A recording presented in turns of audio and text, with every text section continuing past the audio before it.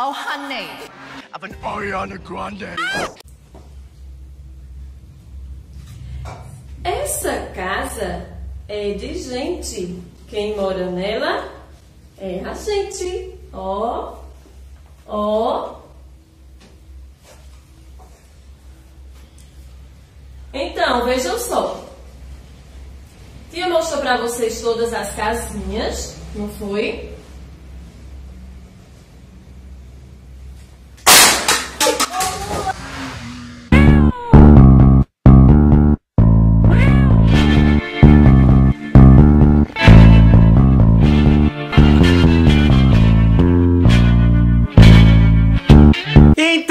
Gente! Era o.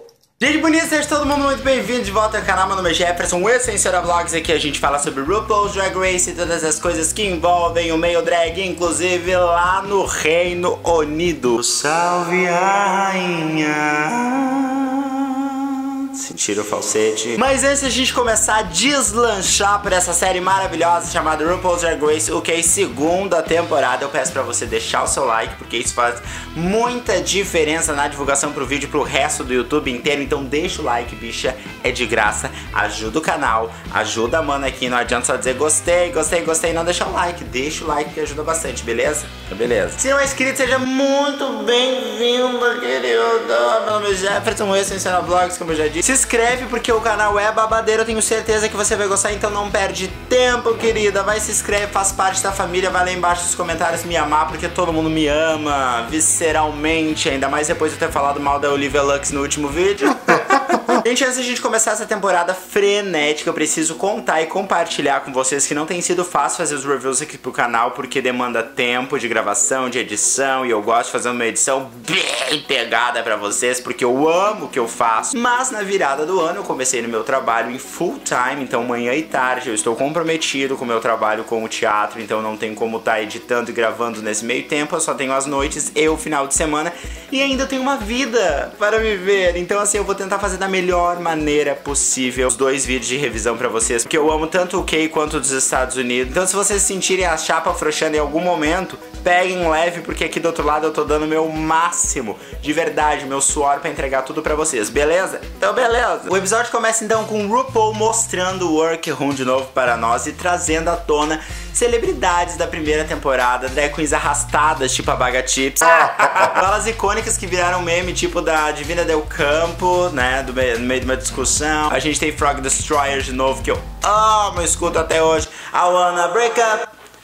Bye bye, maybe I see you in the next line. E logo em seguida nós vamos para o que? Para o que? Para o que? As entradas. Primeiro nós temos então a entrada de Lara Shine, que eu notei que é uma das favoritas da temporada, pelo visto. É bem conhecida na cena drag fora das paredes do workroom, então ela entra muito forte. Eu particularmente gosto de sobreposição de estampa, porque eu acho que funciona, mas no caso dela não funcionou, porque essa estampa eu não gosto. Mas é muito gosto pessoal, eu não gosto da peruca, eu não gosto da entrada dela. Mas ela é uma drag queen maravilhosa. Depois nós temos então a entrada da minha fave Forever and Ever. Seal My Heart and... Representando The Bully Brothers Beach Isso é por minha conta, eu que inventei dentro da minha fantasia. Cherry Valentine que entra poderosíssima Representando as góticas Gótica na veia, meu, gótica na veia. Linda, majestosa. Eu me importo que a produção deixou o take, que ela derrubou a coroa da cabeça dela? Claro que não. Porque ela ainda é belíssima, ainda ela tem carão, ainda ela tem conceito. Nunca gongarei um look de Sherry Valentine. Essa daqui tem o passe livre durante as minhas reviews, porque eu sou time Sherry Valentine, por mais que eu entenda que talvez ela não vença. Mas, por si mesmo assim, por sou masoquista, as góticas muito bem representadas no show, amo Sherry Valentine. Depois nós temos então entrando no workroom Tia Coffee. E dá não. Não dá. Preciso dizer alguma coisa? Próximo. Depois nós temos a entrada de Bim Bim Bum Lash. Bim Bim Bum Bum Lash. Bim Bim Bum Lash. De Bim Bim Bum Lash, e assim, ela é forte. É exatamente o que eu disse no Meet the Queens, tá? Eu já vi o episódio, eu sei, vocês devem estar aí já com o dedinho coçando, mas é... É, mas ela é forte, ela não deixa de ser forte. Vamos parar de olhar as provas de Drag Race como decisivo pra toda a carreira de uma drag queen? Vamos parar, por favor? Ela é louca e isso é fator essencial pra uma drag queen começar a criação dela, de não ter medo de se jogar. Ela é muito forte. A gente consegue ver através dos olhos dela o quão ela não tem medo do que ela faz. Eu amo de paixão essa drag queen. A entrada dela é maravilhosa, tá stunning, tá muito bonita, diferente do que ela serviu lá no Meet the Queens. Lembra muito a Willan no modo despojado. C. Eu amo, amo essa drag queen, ela é fortíssima. Em seguida nós temos a entrada de Ginny Lemon e é muito difícil falar sobre essa personagem porque é realmente uma personagem pra, pra mim, pra mim, não tô dizendo que é, não tô definindo né, drag de ninguém aqui no Tocando da Pedra, gente. Mas pra mim parece muito mais um personagem de teatro do que uma drag queen, porque é, é um exagero de atuação todo momento, sabe? E com certeza o artista por trás da drag não deve ser assim todo o tempo. Então é, é, é eu quero ver como que vai acontecer para manter essa personagem durante todo esse tempo, porque é muita energia, muito. Sabe, é uma coisa que ultrapassa a Bendala Kramer, inclusive, quando ela entrou em Drag Race, e, e a gente demorou um tempo para conseguir enxergar quem ela é de verdade. Então é, é impossível falar sobre a drag dela no início, porque aqui é uma caracterização caricata, por mais redundante que seja. A gente não consegue entender qual é que é da drag queen. É uma atuação, é uma cena que ela fez aqui na frente. Então a gente não consegue conhecer uh, o artista, a gente consegue conhecer uma cena que a drag queen fez. Faz sentido, mas é divertido, dá pra rir, dá pra uma risada, ela é engraçada. Em seguida, então, entra Elliot Diamond, e assim, impecável, flawless.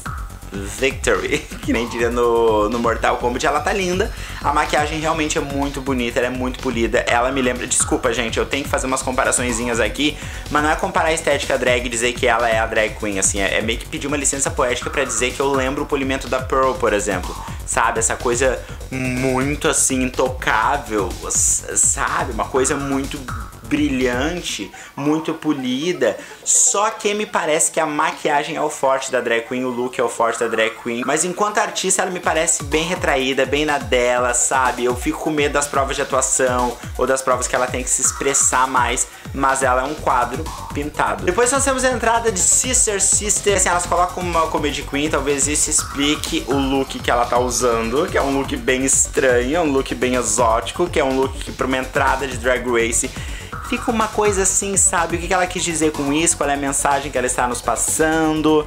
A maquiagem, ela tem um borrão azul no meio do rosto, é uma coisa muito abstrata. Então, assim, ela disse que é uma comedy queen, até agora ela me fez rir, o look dela é feio. Vamos ver o que, vai acontecer a seguir, queridas. Depois nós temos a entrada de Tracy e aprende como se faz uma entrada drag queens novinhas. É assim que se faz uma entrada, é o poder em pessoa entrando no workroom que drag queen mais linda, que drag queen mais forte, que drag queen mais concisa. Lembra Naomi Smalls? Lembra com certeza. Não ia comparar drag queen, não para de fazer isso, desculpa. Mas é muito semelhante à força. E, e é uma qualidade, sabe? Tipo, tem essa força e a Naomi Smalls é muito bem sucedida lá nos Estados Unidos e a Tace eu tenho certeza que vai longe nessa competição porque ela tem aquele X Factor, além de ser lindíssima e me parece ser uma fashion queen. Depois nós temos a entrada então de Joey Black, assim, eu já assisti o episódio, tá? Não precisa ficar me acusando mentalmente, mas pra mim entra uma das possíveis vencedoras da temporada. E eu não entendi absolutamente nada nesse episódio porque ela entra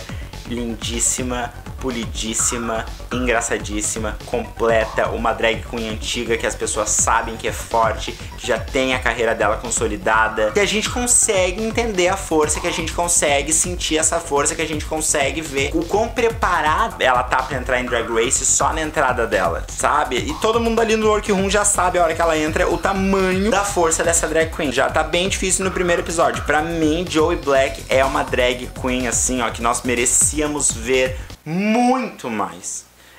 Muito mais. Depois entra a Veronica Green com um vestido bem contestável, tá? Eu acho que ela esqueceu de passar um pouco de maquiagem na cara, tá, eu não gosto da entrada, eu acho ela uma drag queen muito tímida, eu acho bem distante do nível de experiência das outras drag queens. Uh, eu sei que ela participou do 100 contra 1, ainda quero ver o porquê ela está em Drag Race UK. Eu sei que ela é uma drag queen muito legal e sociável, mas isso não mantém drag queen nenhuma em competição.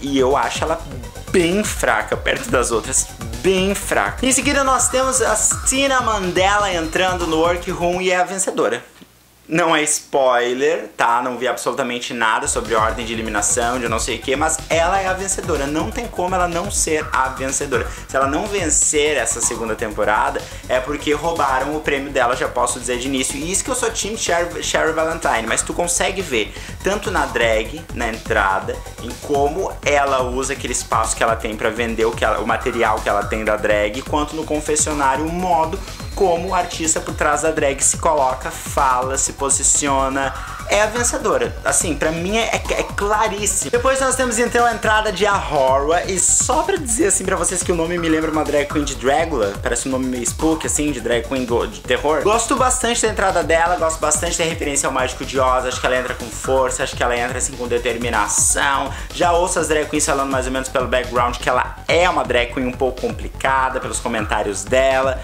Vamos ver o que acontece. Sem contar que o boy por trás da drag me lembra muito aquele menino que fez o meme lá levando choque na árvore. Me lembra muito, desculpa, mas me lembra. Gosto da drag queen, acho ela belíssima, acho ela bem poderosa. RuPaul entra no workroom então e saúda as drag queens, dá boas-vindas a elas e logo em seguida já vai pro mini challenge, que é um mini challenge onde nós vamos ter que tirar foto recebendo bolada na cara. É isso que acontece com Drag Race. Passa construindo toda uma carreira tua pra no primeiro episódio ter que tirar foto levando bolada na cara. É o que show gosta de vender como entretenimento pra gente rir, jogar bola na cara da, da drag queen. Elas vão lá, fazem o photoshoot, sabe? As fotos com as bolas. Eu gosto bastante da Tina Mandela, acho que ela manda muito bem, acho que ela serve, não se deixa bater pelas boladas, mas a RuPaul dá o prêmio pra... Larva-se o quê? Larva-se Chiney. Não acho merecido. Vamos então para o Maxi Challenge dessa semana. No Maxi Challenge as drag queens vão ter que servir dois looks. RuPaul adora no primeiro episódio de Drag Race mandar ela servir vários looks pra ferrar com a vida das pessoas que fazem review. No primeiro look elas vão ter que homenagear um ícone gay. No segundo look elas vão ter que mostrar por que elas são rainhas da cidade delas. Eu gosto bastante dos dois temas. Descobrimos então que as Tina Mandela e Tacy, que são duas drag queens que têm estéticas muito parecidas, vão fazer Naomi Campbell quando se fala de ícone gay. Aí elas conversam um pouco, uma conversa que eu acho que é bem importante sobre representatividade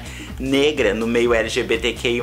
No momento que elas estão crescendo, elas não têm pra onde olhar, no que se motivar, e elas pensam que elas podem ser essas pessoas que motivem as crianças a fazerem mais pela arte. Enfim, eu acho muito bonito o discurso, acho que é bem interessante frisar aqui. E sem perda de tempo, vamos ao palco principal, onde RuPaul entra poderosíssima, servindo Honey Mahogany lá da quinta temporada. Mas a velha é bonita, ela é rica, a diferença é que a velha é rica, né? Refinada. Ela pode ela pode usar todo aquele tecido holográfico, porque ela é um holograma. Primeiro entra então Joey Black servindo David Bowie e eu gosto demais, eu acho muito inteligente. Eu gosto como ela pega um look que ele usou e transforma de uma maneira feminina pra drag dela. Eu gosto como ela escolhe a cor do cabelo e transforma um signo mais forte na drag queen dela. Eu gosto muito dessa run, eu acho que ela é muito forte, acho que ela é muito concisa, eu acho que ela escolhe muito bem o ícone dela e eu acho que ela vai super bem sim. Talvez falte um pouco de silhueta no vestido dela acho uma coisa meio reta assim, sabe?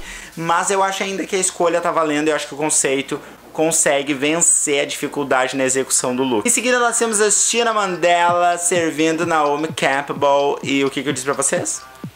A winner. Linda, intocável, maravilhosa. Parece que ela não tá usando nada de maquiagem no rosto. Ela tá lindíssima.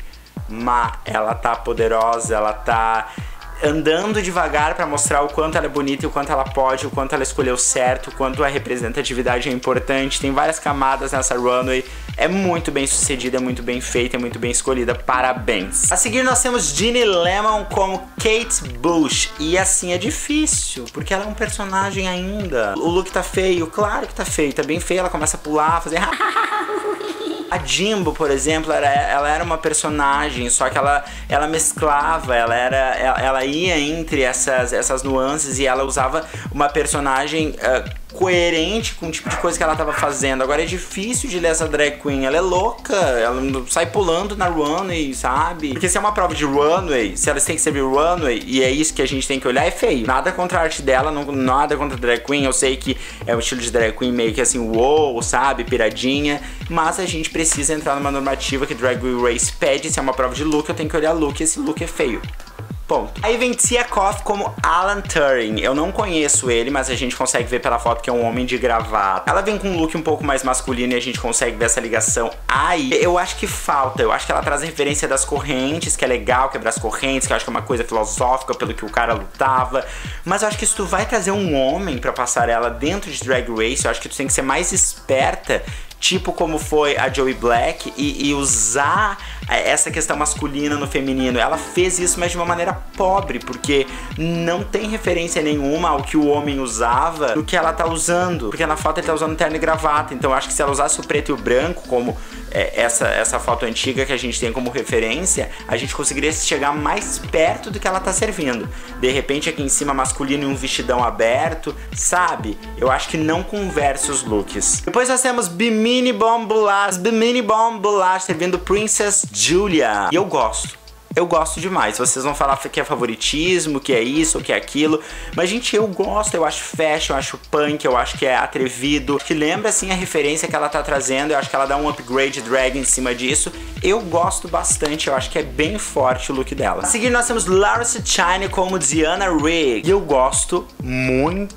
Eu gosto muito como ela transforma as curvas do corpo dela. Eu gosto muito como ela serve uma coisa mais feminina. É muito diferente da entrada dela. A drag queen é uma camaleoa. Agora começa a entender o respeito que ela tem anteriormente da competição, que as drag queens tanto falavam no Work Ruim, a gente sente no ar, que todos sabem o quão talentosa ela é, ela tá mostrando na runway agora. Eu gosto bastante, porque eu acho que segue super o que o desafio pede, e ela tá transformadíssima.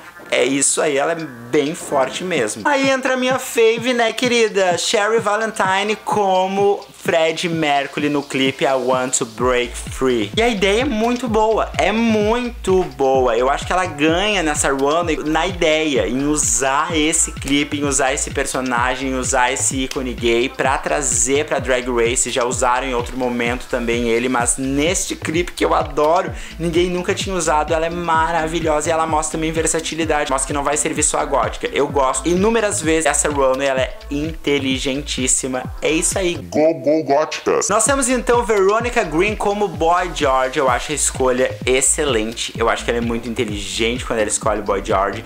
Mas eu acho que o erro tá exatamente em fazer exatamente o que ele é, copiar o look dele. Sabe? Boy George é uma coisa meio andrógena e daí ela trazer isso como androginia no palco, sem dar aquele toque drag, ou toque de quem a drag dela é, mostra que falta personalidade ali. Eu acho que se ela colocasse um salto, se ela deixasse um pouco mais feminino esse look, porque o desafio é representar um ícone gay britânico, tudo bem, mas todas as outras queens fizeram uma coisa mais puxada para a estética delas e ela basicamente foi de cosplay. Então eu, eu acho que é muito bom, eu acho que o cosplay dela tá maravilhoso, mas eu acho que não cumpre o desafio. Eu acho que falta criatividade, na verdade, não é nem que não cumpra o desafio. Eu acho que falta criatividade. Que Drag Race é um lugar para te mostrar mais e ela foi safe. Depois nós temos a Horror como Vivienne Westwood e ela entra super modelo com um vestido meio que com retalho, desfilando muito, muito, muito, muito. Ela sabe o que ela quer fazer, me lembra muito a Raja. Ela vai, ela usa uma maquiagem metade metade, um cabelão, linda, maravilhosa. E daí do lado me aparece uma foto de uma senhora. Aí eu fico pensando assim, é referência da metade metade que ela tá usando, sabe? Uma senhora meio conservadora e ela tá super, wow, sou gay, drag queen, metade metade, retalhos, work, mama, yes. Uma senhora ali do lado. Aí fiquei confuso, porque eu gosto do look. Eu acho o look muito legal, acho que ela desfila muito bem. Só fico em dúvida se tá no desafio ou não, porque eu não conheço essa senhora, né? Ela deve ser muito importante pra causa gay, com certeza. Deve ser explicada e justificada as referências que ela usa no look dela. Work. Depois entra Sister Sister como Dusty Springfield. E amiga, não dá pra te defender não, tá parecendo a Darian Lake na sexta temporada, quando ela foi pro bottom por causa de um look muito semelhante a esse, que fez o corpo dela ficar todo caído. É, parece uma capa, sabe? Uma capa que grudou lantejola. O look tá muito feio. Se representa ou não quem tu tá homenageando, eu tenho que te dizer que não parece uma homenagem, porque esse look tá bem feio. É uma capa com uma tejola grudada, pronto. Depois entra Ellie Diamond servindo Lily Savage, que pelo que eu entendi é uma drag queen antiga, britânico. E ela tá fazendo o sonho da Lily Savage acontecer, que é ver ela mais rejuvenescida, ela no look mais polido, ela mais linda, maravilhosa, e ela presta uma homenagem muito bem feita, eu gosto muito. Ela tem uma maquiagem belíssima e ela é muito boa costureira. Ela é muito boa peruqueira, ela sabe o que ela tá fazendo. Eu gosto dessa maneira mais ousada, mostrando pernas, servindo na Ruano. Eu acho que mostra um pouquinho mais a personalidade da drag dela, que eu acho que fica tão escondida nesse primeiro episódio. Então ela manda super bem, eu gosto muito dela. Mas então a segunda nome capable da semana na passarela e dessa vez é na visão de Tace, que não deixa a desejar em absolutamente nada. A briga é braba, é difícil de saber qual das duas é mais bem sucedida. Eu nem quero entrar nesse mérito, porque as duas são artistas diferentes e muito talentosas e muito bonitas. Manda muito bem, ela tá linda, não tem o que dizer desse look, gente. Olha o cabelão, olha como ela desfila, ela sabe que ela é bonita. Ela sabe que ela tá mandando muito bem. Vamos então ao segundo runway, que é rainha da sua cidade. Primeiro nós temos Joey Black, que entra quase que uma alegoria, um carro carnavalesco. E como vocês comentaram no último vídeo, dizendo Ai, Jefferson, tu quer que toda drag queen agora entre que nem um carro alegórico? Sim, eu quero. Querer não é poder. Eu gosto bastante do look da Joey Black, eu só não gosto do tecido que ela usa pra fazer aquele look. Como é um look grande, é um grande problema pra mim, porque é muito brilhoso é um brilhoso pobre, não é um look requintado, não é um look assim que tem um tecido bonito, sabe? Não vou entrar em mérito quanto a questão de cidade, porque eu não conheço a cidade delas, tá? Deixa para os jurados fazerem esse trabalho, mas de look eu quero gostar, mas não gosto do tecido. Nós temos então a Cina Mandela entrando com a ferocidade total dos pés à cabeça, e é isso que eu digo. Ah, gosta só de look alegórico. Não, isso não é uma alegoria, mas também tem a ver em como a drag queen usa o look que ela tá usando. Então não é um look muito elaborado, mas tem tudo a ver e o modo como ela vende o look me convence. Eu compro, eu gosto. Pra mim tá completo, pra mim é forte, pra mim faz todo sentido. Se fosse outra drag queen usando este mesmo look, talvez fosse pobre, talvez fosse pedestre, talvez fosse aquilo que as drag queens falaram no Untucked, mas pra mim não é nada disso. Pra mim é feroz, porque o, o boy que trabalha por trás da drag é feroz. Então, assim, essa drag queen é a vencedora da temporada. Ok, here's a thing. Depois nós temos, como é que é o nome da, drag queen? Ginny Lemon entrando na Run. Parece que ela tá homenageando o primeiro drag king da cidade dela, que eu acho que é muito legal, que eu acho que é muito amoroso, mas ainda é uma prova de runway. E se tu vai pegar um drag queen tipo Landon Sider, ele serve runway, ele serve uma make muito bem polida. Eu acho linda a drag queen dela, eu acho que é necessária a drag queen dela, mas eu acho que é também importante o artista entender quando entra no drag race vai se colocar à prova em diferentes tipos de contestação e esse é um runway, este é uma prova de runway. E pra mim, a personagem dela não me convence enquanto runway. Talvez na prova de atuação ela vá destruir porque é a área dela, mas aqui não engulo. Depois nós temos então Tia Koff servindo uma coisa meio Robin Hood, uma coisa meio Caverna do Dragão. O look pra mim é morno, fica pela metade, porque eu acho que pra ela servir esse tipo de look seria muito interessante se ela usasse sentimento, se ela usasse daqui a pouco alguma coisa que lembrasse tetinha, sabe? Assim, parece um graveto e eu não gosto da finalização da costura. Parece que falta proporção, sabe? Parece que é uma coisa achatada. Eu, eu não desgosto, eu acho que é interessante, mas também não gosto. Fica morno, fica na metade. Eu fico confuso. Temos então Bibi Bombo, acho que entra na runway mostrando pra Abby, oh my god, o que ela talvez poderia ter feito pelo Brasil na runway da temporada dela. Quando ela entra, eu penso assim, gente, mas qual, qual, qual é a tema da runway mesmo que ela tá servindo o Brasil? Porque pra mim isso é futebol e para mim isso é Brasil e para mim isso é maravilhoso, porque é isso que eu tô falando para vocês. Não precisa ser sempre alegoria, mas eu acho que tem que ser feroz de alguma maneira. Eu acho que esse look representa super o que a drag queen dela é, que é uma drag queen que não tem medo, uma drag queen que se joga, uma drag queen louca. Tipo, a Willan, ela tá lá mostrando quase o intestino dela na Ruano e isso tá maravilhoso porque tem desprendimento, porque tem força, porque tem o que ela quer mostrar dentro dessa competição, sabe? Se tu pegar o acabamento do look, não é o melhor, né? É um acabamento bem tosco, um acabamento bem pobre, mas eu acho que o look conta uma história que é interessante, inclusive sobre quem é a drag queen que tá servindo ele. E pro primeiro run isso é muito bem-vindo, então eu gosto bastante. Vamos então a Laura Chiney e ela tá linda lindíssima de novo, mostrando que é uma camaleão. Eu gosto muito daquele look. É a cereja no topo do bolo que ela mostrou durante este primeiro episódio. Ela só cresceu em questão de look, eu não gosto do look da entrada. O primeiro look dela da Run eu gosto bastante. Esse pra mim encerra com chave de ouro. Ela tá lindíssima. Go, go, go. Big Girls, vai lá, representa mesmo porque a drag queen é fortíssima, a bicha fecha, querida. Depois nós temos Sherry Valentine usando uma peruca que com certeza eu queria dar um soco na cabeça dela por trás e roubar aquela peruca, porque aquele tom de cinza é maravilhoso. A primeira coisa que eu pensei é como que eu faço uma peruca igual a essa. Ela tá lindíssima e eu acho que ela vai pra uma vertente gótica que não é assim, ó, vou te matar, sou um monstro, uma coisa dragon assim, sabe? Eu acho que é interessante tu pegar e ser versátil, pelo menos nas primeiras semanas, para depois chegar lá no teu ápice, para depois começar a mostrar realmente quem tu é. Eu gosto bastante da runway dela, eu sempre vou gostar, porque lembra que ela tem passe livre comigo, então vou passar pano mesmo, vocês me desculpem. Aí vocês fazem as críticas. Esse trabalho é de vocês. Eu passo o pano pra ela, beijos.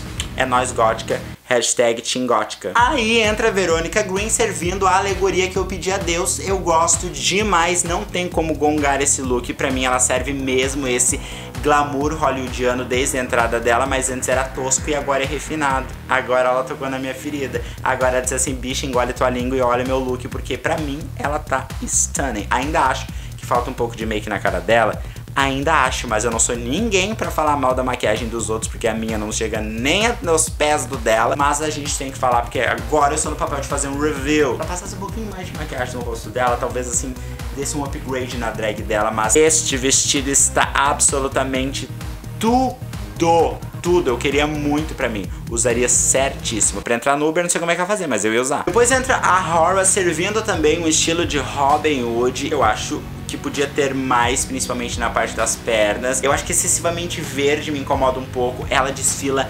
muito bem. Eu acho que nesse sentido ela tá desfilando assim, ó, muito melhor do que o que ela tá usando, sabe? Eu acho que eu acredito mais no look por como ela desfila do que o look em si, porque eu não gosto muito do look não, eu não acho que o look seja um look que arrebate, sabe, que seja alguma coisa grandiosa, é, parece uma fantasia, sabe, parece que eu vou fazer, sei lá, Vou fazer no ensino médio Peter Pan e daí comprei a fantasia na casa da tia Fábio. Entra Sister Sister enroladíssima num tecido que eu acho horroroso pra Runner, porque é excessivamente brilhoso e não brilhoso no lado bom da força, sabe? Eu gosto muito da make, eu gosto muito da história que ela conta do look, eu acho que agora ela tá à vontade mesmo servindo o look, mas eu não consigo gostar desse tecido. Se fosse outro tecido, talvez eu gostaria muito mais. Eu gosto do sapato, acho que não precisava ter pluma no sapato mesmo, mas aquele tecido pra mim é de cortar o coração. Em seguida nós temos Ellie Diamond, assim, a bicha fecha, ela é muito boa.